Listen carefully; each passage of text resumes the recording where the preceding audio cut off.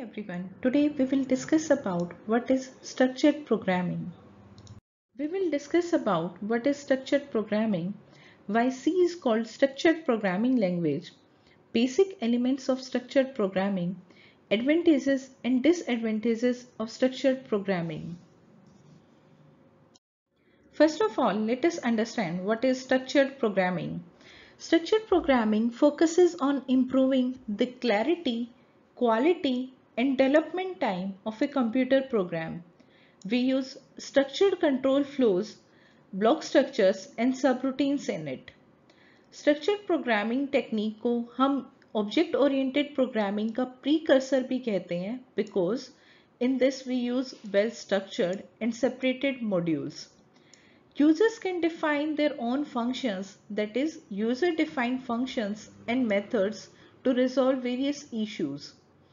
Structured programming focuses more on design and logical structuring stage. Some examples of structured programming are Pascal, Algol, C, Modular 2. Why C is called structured programming language?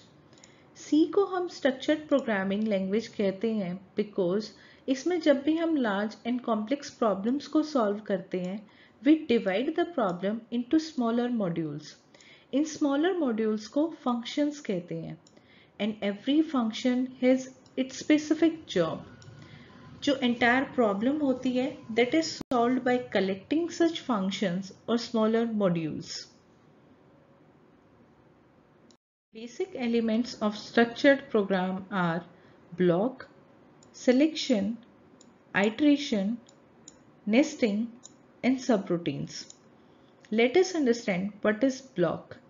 Block is a command or set of commands जो linear way में execute करते हैं।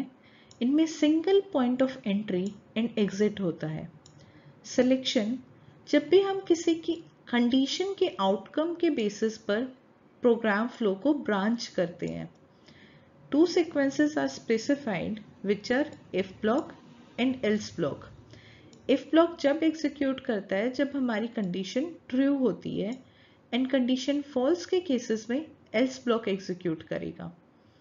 Else block optional होता है but if block is mandatory iteration जब भी हमें किसी कंडीशन को मीट करने के लिए किसी ब्लॉक को रिपीटेड टाइम एग्जीक्यूट करना हो कंडीशन की इवेल्युएशन ब्लॉक के स्टार्टिंग और एंड में होती है एंड जब भी कंडीशन फॉल्स होगी हमारा लूप टर्मिनेट हो जाएगा and it will move on to the next block nesting encapsulating building blocks on basis of conditions and iterations is known as nesting and it just behaves like any other block subroutines जब भी हमें किसी programme को encapsulate कर देते हैं into subroutines then we can invoke blocks by one identifier.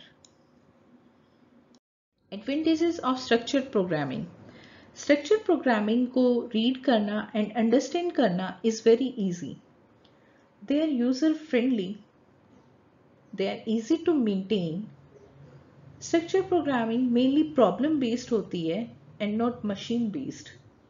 इनमें development काफ़ी ईजी होता है and it requires less effort and time also they are easy to de debug and mostly they are machine independent disadvantages of structure programming structure programming में programs changeable factors पर depend करते हैं like data types therefore we need to update them regularly Usually inmate development time takes longer because they are language dependent. That was all on what is structured programming, basic elements of structured programming, advantages and disadvantages of structured programming, and why C is known as structured programming language. Please stay connected for more updates.